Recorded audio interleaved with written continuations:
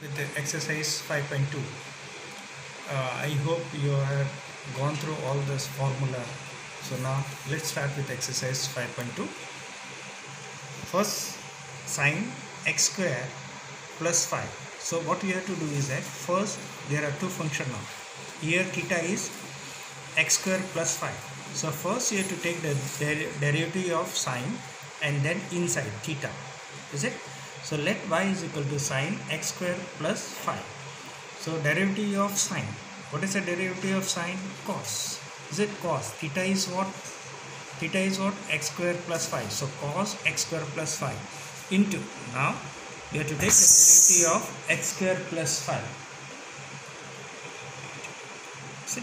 so it is derivative of x square plus 5 what is the derivative of x square plus 5 x square is 2x and phi is constant to 0 so it is 2x is it? 2x so what we got? Cos cos x square plus 5 this is in place of theta is x square plus 5 so this is a constant to take it before. So 2x cos x square plus 5 okay? Let's start with the second. Cos sine cos inside. In place of theta is sine x so let y is equal to cos sine x. First you take the derivative of cos. What is the derivative of cos? Minus sine. Is it? Derivative of cos theta is minus sine theta. So minus sine in place of theta is what? Sine x. So minus sine sine x. Now inside the derivative of theta. What is theta in place of sine x? So d by dx of sine x. So minus sine sine x derivative of sin s is cos x is it? So take it cos before. So what we get? Minus cos into sine into sin x is it? Uh, let's start with the third question. Y is equal to sine ax plus b. So here first you have to take the derivative of sine and then inside is it? So let y is equal to sine ax plus b. So dy dx of sine sine is what uh, derivative of sine is what cos.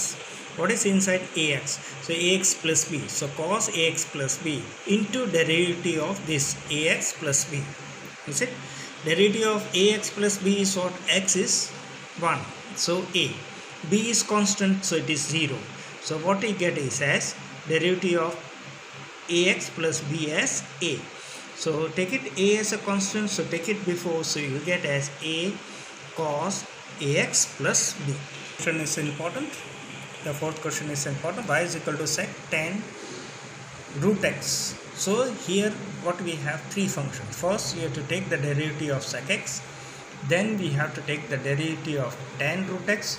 Then we have to take the derivative of root x. So here we have three functions together. So let y is equal to sec tan root x. First we'll take the derivative of sec x. What is the derivative of sec x? Sec x tan x. Is it? So dy dx of sec x tan x. Is it? Sec x. Sec x is what? Tan x. So sec tan x into tan tan x. Is it? Because the derivative of sec x is sec x, sec x, x is sec x tan x. Is it? So it will be sec x sec tan root x into tan tan root x. Now again derivative of what remains tan root x. So into derivative of tan root x. Now same as it is sec tan root x into tan tan root x then what is the derivative of tan function? What is the derivative of tan x? Tan x is sec square x. So it is sec square root x. Now again derivative of this root x. So d by dx of root x. Is it? What is the derivative of root x? It is as x is to n. What is x is to n? x is to n here it is x is to half. Okay. x is to half. Derivative of x is to half is what? x raised to half is half x half minus 1 is it so what it get half. If you subtract this you will get minus half. So what is a minus half? 1 by 2 so it is root x. Is it? 1 by root x. X raised to minus half is what? 1 by root x. So what will be the derivative of root x? Root x is half root x. Is it? So final answer you get it as dy by dx as sec tan x into tan x tan root x upon tan 2 root x. Is it?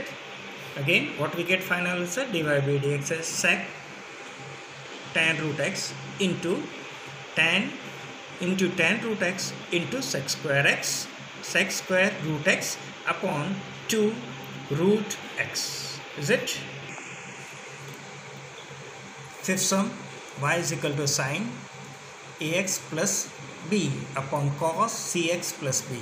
It is u into v form. Okay u upon v form.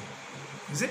So y is equal to if it is u u into v form what you do is dy by dx as first we take denominator square of it so v square. V square will go up and we'll have to take the derivative of d by dx of u okay minus. Now v u will be remain constant and we have to take derivative of d by dx of d by dx of v that is that is it? Again u upon v form it is u upon v form. So we have to take the denominator is it? Square of the denominator denominator will go up and we'll take the derivative of u so okay derivative of u that is numerator du by dx minus u will remain as a constant and second time you have to take the derivative of v. So d by dx of v. Is it? So here sine ax plus b upon cos cx plus d. Is it? So what is is that denominator? Cos so cos x plus d whole square. Cos x cos c cos cx plus d will remain as a constant. We will take the derivative of sine ax plus b minus. Now sine ax plus b will remain as a constant. We will take the derivative of cos cx plus d. Is it? Now what is the derivative of this? This is constant so remain as it is. So cos cx plus d if you take the derivative of sine what is the derivative of sine? Cos. So cos ax plus b is it? And again here it's an x so we have to take the derivative of ax plus b. Ax plus b is what? A because b is 0 it is a constant 0 so what is the derivative of ax? Ax a. So because is x derivative of x is 1 so 1 into a is it? A is constant. Derivative of we have to take ax. Ax means we have to take the derivative of x only. What is the derivative of x? 1 so 1 into a a. So it become a. So what we get by simplifying or we taking the derivative of it is that a cos cx plus d into cos into cos ax plus b. Okay? Now so we have to take here sine as a constant. So sine ax plus b and derivative of cos is what minus sine is it so this minus sign, minus sign here, derivative of this minus and this minus will make it as plus. Is it? And what is the derivative of cos cx plus d? It is minus sign, so it is plus. So we'll get sine cx plus d. Is it? And again, here x is there. So what will be the derivative of inside the bracket cx plus d? d is constant 0 x derivative of x is 1 so 1 into c is c. So you will get c sine ax plus b into sine cx plus d isn't it? Now can you say how i got this result? Yes. What is this form of this form is this form is of a plus b by 2 how we write a plus b by 2 a plus b by 2 if you have to write it we write it as a by b 2 plus b by 2 so what i meant to say that this cos a cos cx plus d into cos ax plus b upon cos cx plus d whole square. So what is that? C. What is a theta here? cx plus d. Where is cx plus d? This. So 1 will cancel out. isn't it 1 will cancel out 1 will be remaining is it so what we got 1 only will in the denominator. So 1 upon cos 1 upon cos cx plus d will be remaining. It will go to the numerator by sec cx plus d. So what we left with? Cos ax plus b a cos ax plus b and from here 1 was left out. What? Cos cx plus d was 1 upon cos cx plus d was left out and it becomes sec cx plus d similarly here also what is the denominator? You see cos cx plus d. See the theta theta. Is there anything? No. There is no cos here. But theta is cx plus d. So here also cx plus d. So one cos will be here divided. So it will become sine cx plus d upon cos cx plus d so sine cx plus d upon 1 from this cos cx plus d will become tan is it? This will remain as it is. C sine c sine ax plus b and here it will become tan cx plus d. How we got it? 1 cos cx plus d okay? Sine cx plus d upon 1 cos cx plus d will make it tan cx plus d. So 1 will be left out in the denominator. 1 upon cos it was sec so it becomes sec cx plus d. This is your final answer is it?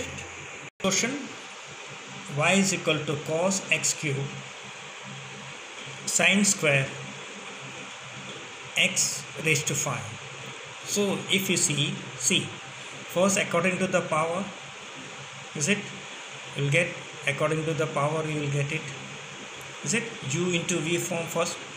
This is u and v form u into v form is that anyone first will u okay? We say that u into v. Say u into v okay? Derivative of u into v will be first we can keep v as a constant then derivative of du d du by dx z plus now u will be remain constant and we take d by dx of v is it this we have to apply so here u into v form first. Is it first we have to apply u into v form? How many functions are there? When we operate this function it will be first respect to the power respect to the sine function respect to the x raised to 5 is it? Here if we say then it will be respect to the cos function respect to the x raised to 3 got it okay? So let's take this as a u. Okay? V you take. And this as a u. Anyone you can take. It is your choice. So dy by dx of sine square x is to 5 is a constant. We'll take a derivative of cos x raised to q plus. Now x is to cube as a constant. And we'll take a derivative of sine square x raised to 5. Is it? Now this has a, remain as a constant so it is as it is sine square x raised to 5. What is the differentiation of cos minus sine? Is it? So first respect to the cos. Cos is what? Sine. So minus sine. So we'll put minus here and sine x raised to cube. Now remain is to take the derivative of the theta. What is theta here? x raised to cube. What is the derivative of x raised to cube? 2x square. Okay, it is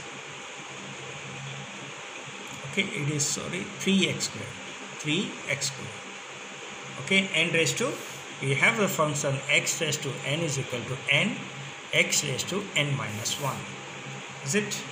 So n is 3. So 3 into x raised to n minus 1. So it is x cube 3x 3x squared okay now cos x cube is a constant we have to take the derivative with respect to now what will take power? Is it? If we take with respect to power then it will be reduced into 2 right? 2 cos square. Cos square x is to 5 okay? Into what we get?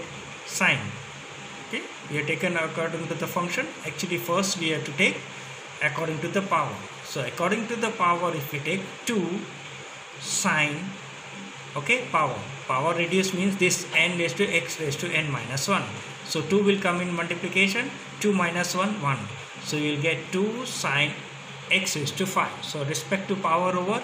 Now respect to the function. What is the function here? What is the derivative of sine? Cos. So cos x is to 5 is it? X is to 5 whenever power and function are there we always take first with respect to power is it? Once we take respect to power then we take respect to the function and then theta is it? So what we did before? Here with respect to the power so 2 2 into sine x raised to 5 now this, this with respect to the function sine so it is cos x is to 5 now inside theta it is 5 x is to 4 is it? Got it clear? Okay. So now what we get it here is that minus. So here we get 5 2 is a 10 is it? So this is plus so we'll write first before 5 2 is a 10 so 10 x is to 4 then it is sine. Sine x is to 5 x is to 5 cos x to 5 into cos x cube minus this will take 3 here it is 3 3 x square then sine square x is to 5 into sine x cube into sine x cube this is your final answer isn't it? Equal to 2 cot x square okay and this theta is x square raised to power. So what I what I said before first we have to operate. Here now see analysis. First you have to operate first according to the power then according to the function then according to the theta given here. So it will be operated three times. Is it clear? Okay. So first chain rules you have to apply. First according to the power you have to take second you have to uh, take out the derivative with respect to the function then whatever theta respect to theta because x square. If it is x then no need of is it clear? So let's say with respect to the power so half will come in multiplication. 2 is already there half will come into the multiplication. Raised to 1 minus half what is that? x raised to n. I said x raised to n is what? n. x n minus 1 so half will come in multiplication 2 is already there then half minus 1 half minus 1 is what minus half so minus half is it this minus okay is it this 2 and 2 will cancel out you will get at cot x square minus half. Now what remain? Power is over. We have taken derivative of power. We, are, we have to take the derivative of cot. What is the derivative of cot? Cot is what? Minus sec square x. Sec square x. So here it will come minus sec square uh, minus cosec x square. Is it? What is the derivative of cot, cot x square? It is cosec or cosec square is it so this minus cosec square and now we have to take the derivative of x square what is the derivative of x square 2x is it again what you say first according to the power you have to take according to the power. So 2 was already there half half minus 1 is half minus 1 is minus half so it will come into the denominator is it? 2 and 2 will cancel out. Let it be remain as minus half. Minus half can be written as in the denominator to make it positive. Now we have to take derivative of cot x square. Cot x square is minus cosec square is it? So minus cos x square here cos x x square. Is it? Now derivative of what is? What is derivative of this? We have to take. What is that derivative of x square? That is 2x so cos x square, cos x square upon this was a minus. So it will go in the positive cot, is it? Cot x square raised to half. Raised to half means you can put a root here. Okay, finally we can put root here. And 2x into this, it will become minus 2x cosec x square upon cot x square raised to half. Raised to half means root. So final answer you will get minus 2x cosec x square upon root cot x square. Is it clear? whenever we take derivative we have to analyze how many functions are there together let's y is equal to cos root x. How many are there? First according to the function cos what is the derivative of cos minus sine? Is it derivative of cos is what minus sine x? So it is minus sine x and then what is inside theta? Root x. So we have to take the derivative of root x also. Is it? So derivative of cos is minus sine so it will become minus sine root x and derivative of root x. Root x we know. Root x means what? Half. Is it? So what is about the derivative of root x? It is half root x. It is it is half or we can say 1 by 2 root x. So derivative of this is what? 1 by root x. So 1 by root x. Is it? And derivative of this is what? Minus sine root x so upon 2 root x is it? Okay fine. Uh, do today you do a complete up to 8 if you have any problem then tell me. From tomorrow i'll take the theorem and then we'll start with the question number 9 so today you complete up to 8 okay thank you